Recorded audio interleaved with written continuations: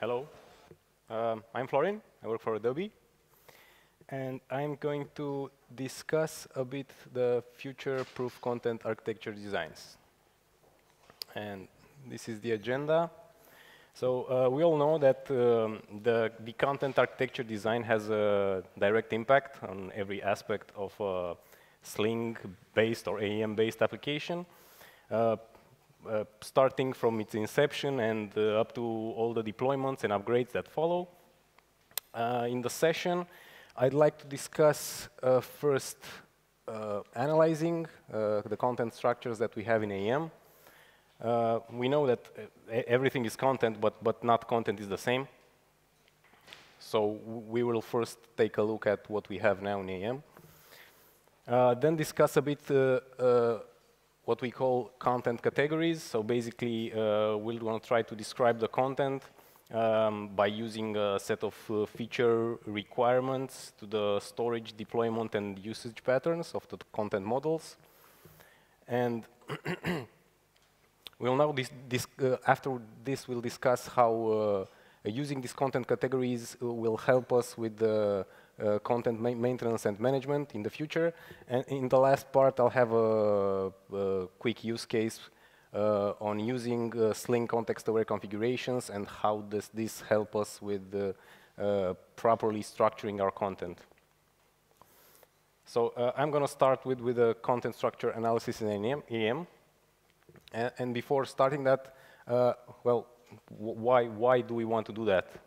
So during uh, uh, during the time while, while working on different uh, aspects and architectural areas in AEM, we, we kind of dis discovered that we, we don't really have like a clear guidelines of what content should go where.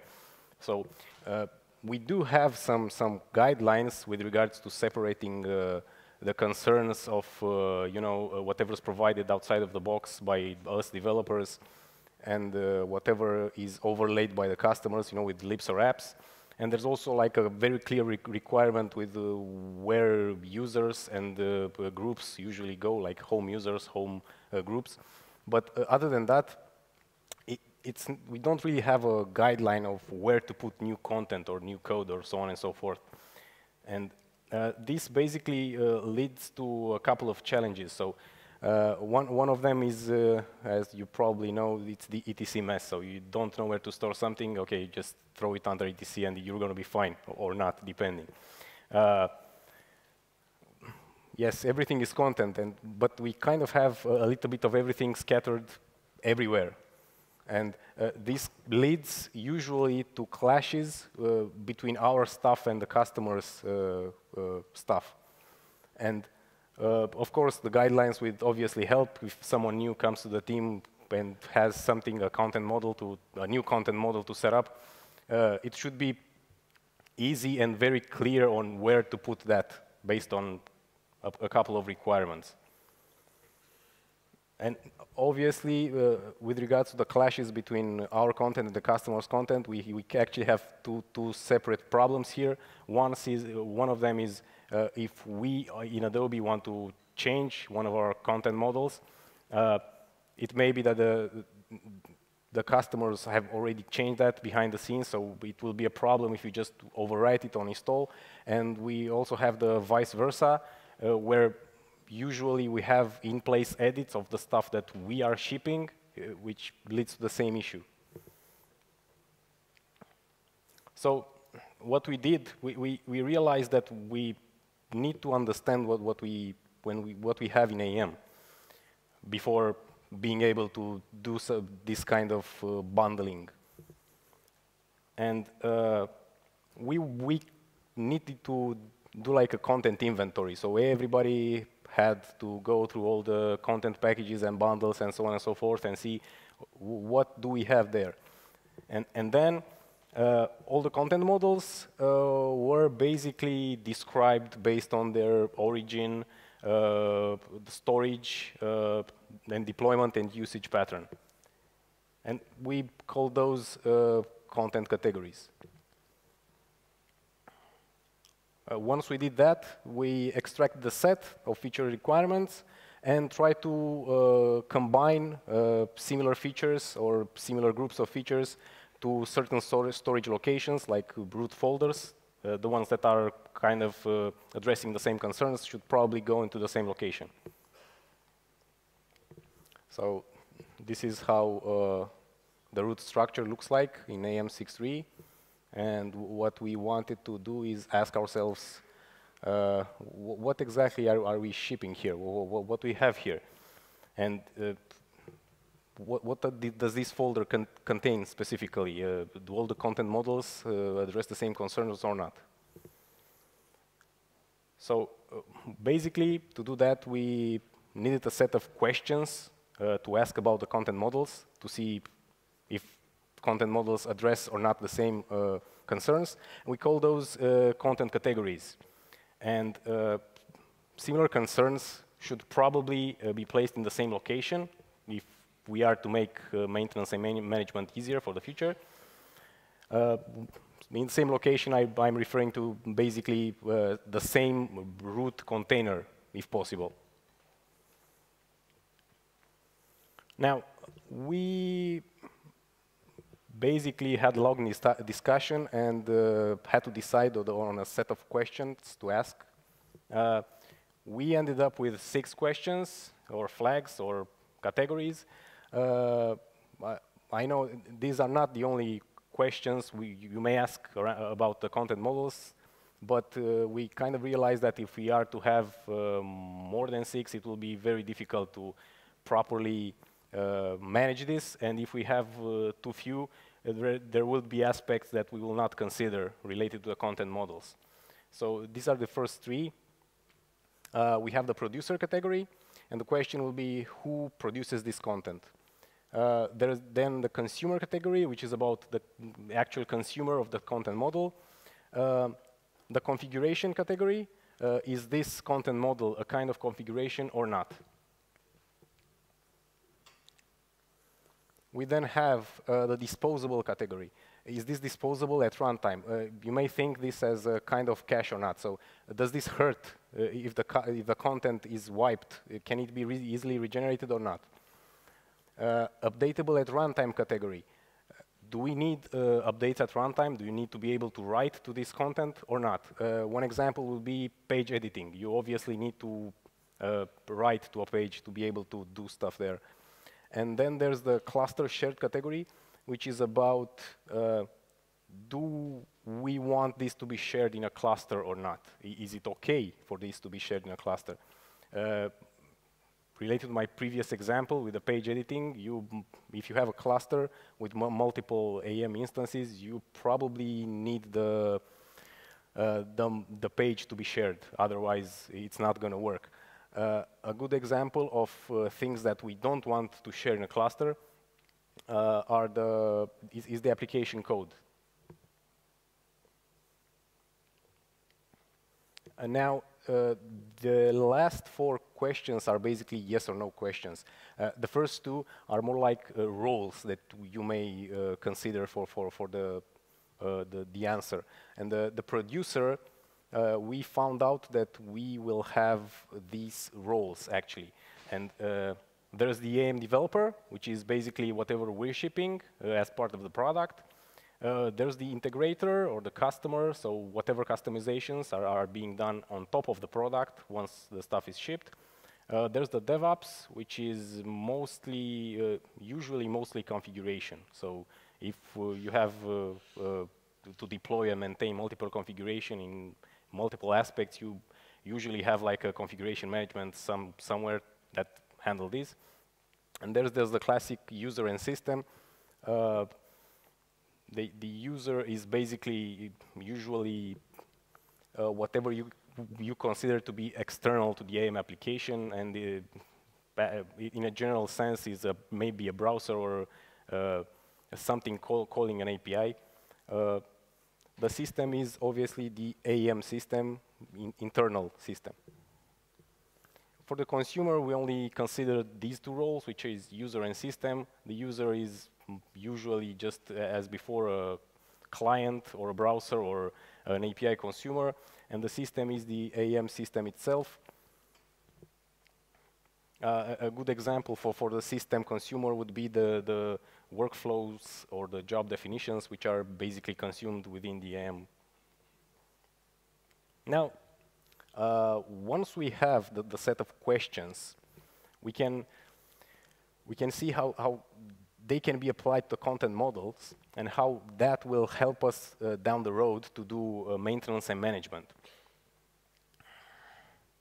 So the, the, the content categories should allow us to align the content architecture uh, with the concerns the, the, the content models uh, are addressing. So, and this will uh, allow us to have a clear separation of concerns between the various roles producing content and the ones consuming them. Now, the thing is that once we did that, we needed a place to bundle those together. And uh, we obviously wanted to use uh, something from, from the set we already have. So uh, we had to decide which ones do we, we use. So from, from this is again uh, a snapshot of uh, the root structure in 6.3. And we decided to, uh, on one hand, not introduce any new top folder because that's already too confusing.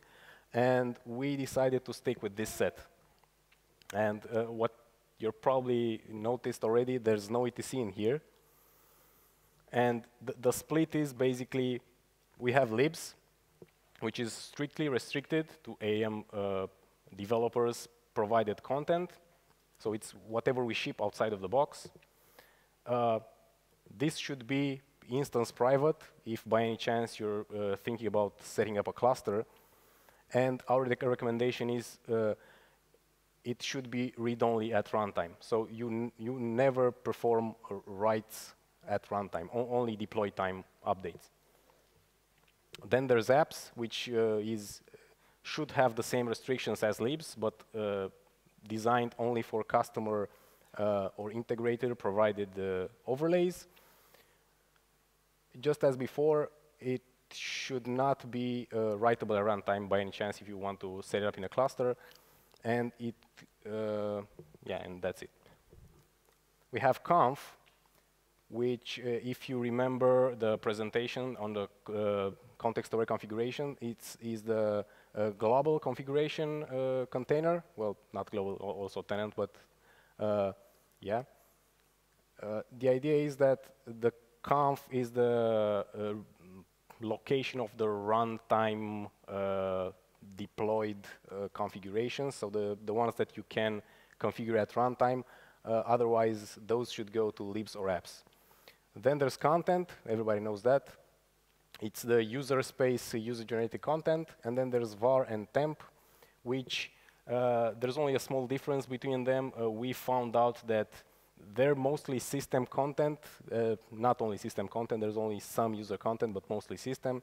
The difference is that temp is disposable while var is not.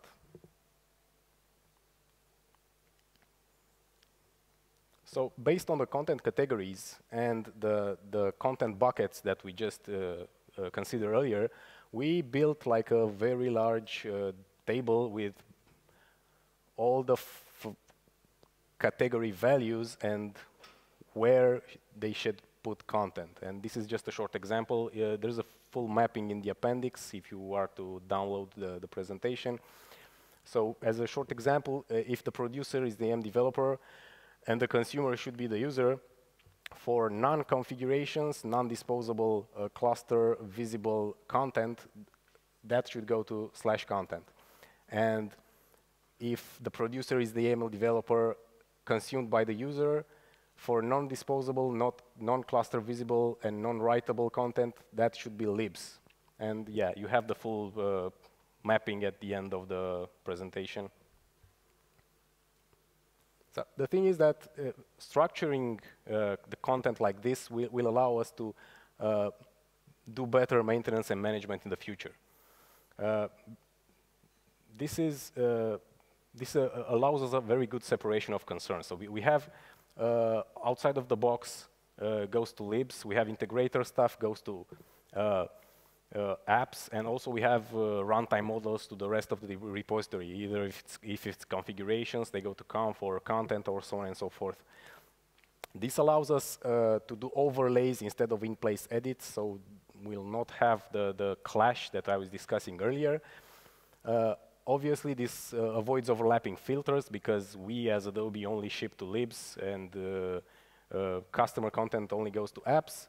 And there's also no generic storage locations, so we don't have like an ETC bucket somewhere where you can just throw stuff around and not be sure about what's it about.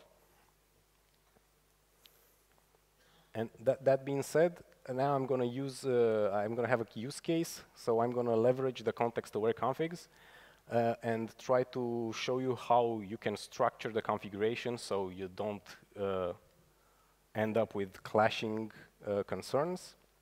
So let's assume that you have uh, that we have a configuration that's in, in etc. So it's etc media player config uh, that has one uh, property which is speed, and you just ship that. And at some point, at, in the subsequent version, we may want to add another property like uh, the quality, uh, assuming this is uh, controlling some kind of uh, video playback or whatever. So the, the thing is, once you want to have another property and deploy that and ship it, you have a problem. that's that may already be changed. So uh, first of all, the speed might be already changed uh, by the either customer or integration, integrator or the DevOps, or there may already be changes at runtime by the users. Uh, simply installing this or overwriting this on update uh, isn't safely possible. And, and, and the answer would be uh, using Sling context-aware configs. And what we can do is uh, leverage Sling context-aware configurations, which will allow us to properly separate the concerns of what we're shipping. So we have an outside-of-the-box configuration in libs. We have the integrator or customer one in apps. And if by any chance we require any runtime uh, edits or runtime provided stuff, that should go to either conf uh, global or conf tenant if you need tenant level configuration for that. So uh, in this case, if by any chance uh, we at Adobe will want to provide an updated uh, model for the outside of the box config, we can do that without wiping the customer provided one or the runtime edits for that matter. And depending on how uh, inheritance in is configured in, in, at the Sling context-aware configuration, uh, this will allow us to either uh, get already the, the integrator provided config, so uh, even though we ship uh, our a new updated configuration, uh, the system still, still sees the, the, the custom one from the customer. And this is a short example of how you can uh, uh, read the properties. So you just use a configuration resolver, and based on that, uh, you fetch a config builder uh, using the current resource as a context, and based on its name, you will be able to get the properties as a value map. Uh, this will e either return the the properties uh, in, in apps or conf or libs, depending on which one is the system. If inheritance is configured, you will actually get a merge between uh, your custom configuration and uh, the outside of the box one. So Sling context-aware uh, configuration feature is a very complex uh, resolution algorithm which uh, allows very good separation of concerns for, for the different producers we discussed earlier. And this is the uh, lookup order. So you have libs for, for the uh, outside of the box configs, uh, apps for uh, overlaid configs, and then there's conf global. Uh, these three work as um, fallbacks, global fallbacks, and then there's conf tenant and conf tenant, tenant, tenant, tenant, and so on and so forth if you need uh, tenant level customizations.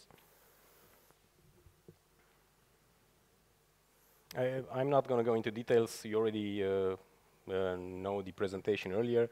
Uh, the main features would be that you can configure property inheritance, child configuration list, list mer merging, and customize custom configuration lookup. Uh, you can take a look at Sling Apache org for, for the full features and documentation. And now, as closing words, uh, I'm gonna show you a short summary of uh, the various uh, content producer roles and uh, the, the, repository locations that uh, they should own and manage. So again, we have libs, which should be owned only by AEM developers, and um, you should only provide stuff there at deploy time, not runtime. No runtime customizations. There's apps, which is owned by integrator or DevOps, which should also be provided at deploy time. There's conf, the runtime uh, configuration space for uh, DevOps users and system, which can be uh, customized at runtime if required. We have content, which is basically uh, uh, can be modified by all. And then there's var, var and temp, which are mostly user space, but also user can, uh, uh, mostly system space, but also the users may provide content there, and uh, it's only for runtime content. as the reference, you have the Sling context-aware configs. Uh, there's a full documentation at Sling. And that being said, thanks a lot for hearing me out.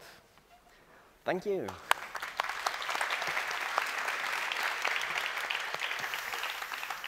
So, any questions? There's one here in the front on the right-hand side.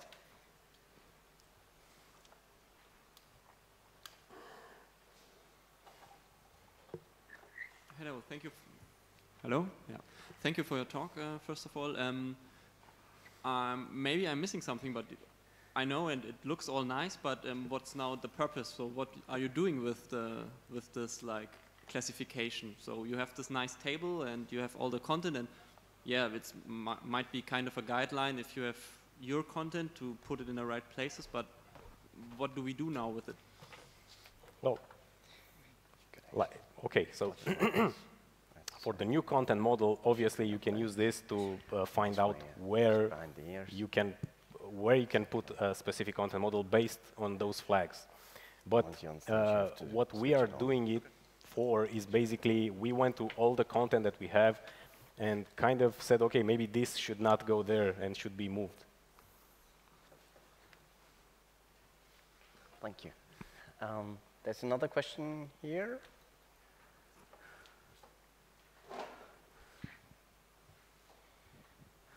Yeah, I, I, just wanted to give, give, give a bit of context um, to that. Like it's, this is uh, basically an exercise that is done was done internally to to um, see how we can bas basically um, get a cleaner decision for where we will put um, content in the future uh, when we deploy stuff. Um, yeah, we wanted to have a clear separation of the of the all the concerns, and yeah, basically we had a lot of mixed concerns in the, we have a lot of uh, folders and stuff thrown around and the thing is that uh, there's the ETC mess. We wanted to kind of see how we can solve that for, I don't know how, how long.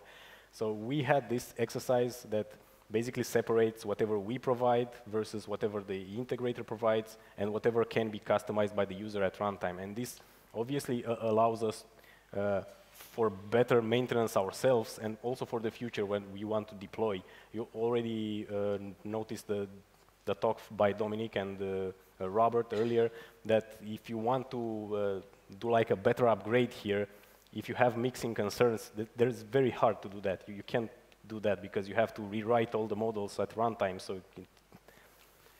yeah, and if you want to have the call to action for you is basically when you start to design, I, we know that we have some buckets, we have some stuff that we in the past have shifted to ETC, and we have seen that a lot of partners or customers have the need to put some content somewhere.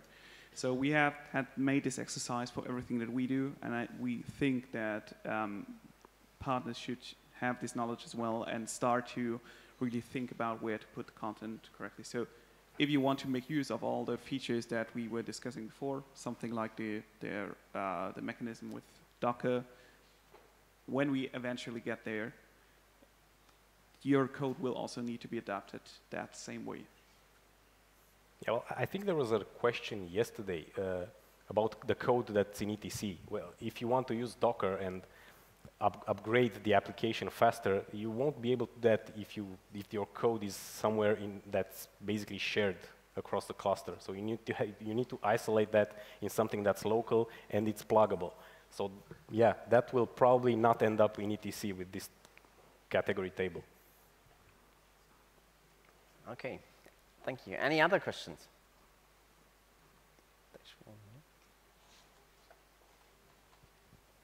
Thanks, Harry. Um, if, if we've got some code in ETC at the moment, and presumably that's going to move across to apps, is, is there a danger that um, if those static assets are then served out through the, you know, through publicly, um, that, that users might kind of open up apps a bit too much unless there's a you know, a specific path for public kind of code? depends on the code. What kind of codes do you I'm, have? I'm thinking JavaScript, CSS, uh, static assets, part of the application deployment, but that are kind of delivered directly to the client. Well, it depends. I mean, if it's static, if you have images, I, I don't know if that's a problem or not. So the answer is that the specifically for client libraries in AEM, client libraries have had this feature actually for three or four releases uh, called proxying, where it basically creates an endpoint in ETC that maps to a path in apps or libs. And so you actually can see this today in We Retail. There was a problem that it wasn't documented, but as part of this project that Florian's been working on, we realized it wasn't documented, and it is now. Um, but if you look at the We Retail code, it, it uses this extensively for this exact purpose. If there are other case, I'm not aware if there are other cases of code in ETC.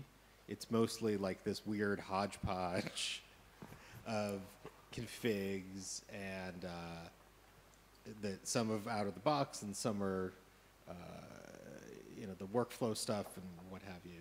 So the, the client libs are, are a pretty special case. But. Thank you. Any other questions? So if not, thank you. Uh, Thank you. Uh, you've, you've got one? Yeah, just, just a second.